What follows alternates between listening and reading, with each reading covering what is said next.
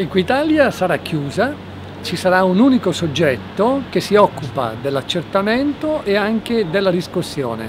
Questa è una richiesta peraltro che ci facevano tutti gli organismi internazionali, OX e FMI, ed è quello che avviene anche nel resto d'Europa. Ma la cosa più importante è la rottamazione delle cartelle. Se prendiamo in mano una cartella vediamo che ci sono tante voci. Soltanto una parte, a volte anche meno rilevante è quello che si deve pagare. Poi ci sono sanzioni, interessi di mora. Ebbene, noi smantelliamo tutta questa parte. Via le sanzioni, via gli interessi di mora e eh, chi pagherà entro il periodo previsto, al massimo nel 2018, potrà avere questo grande e straordinario vantaggio.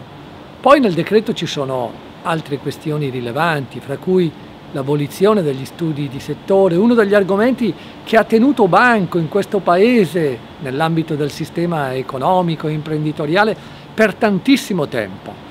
Gli studi di settore vengono superati, ci saranno degli indici di affidabilità economica e fiscale, coloro che rispetteranno questi indici avranno tutta una serie di premi, compreso anche le riduzioni dei periodi di accertamento, e tante altre semplificazioni che vanno incontro alle esigenze dei cittadini e delle imprese perché noi dobbiamo smantellare la montagna di burocrazia che assilla il cittadino italiano.